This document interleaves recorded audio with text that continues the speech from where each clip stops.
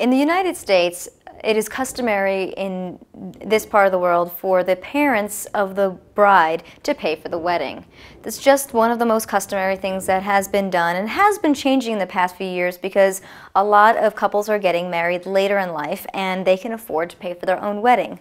Also, traditionally, the groom's family will pay for the rehearsal, something else like a photographer, and the groom usually pays for the honeymoon.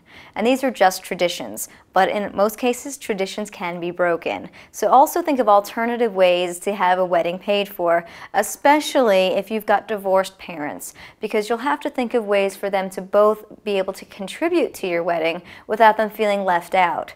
But also, your budget is the most important. Don't have your parents spend more than they can afford.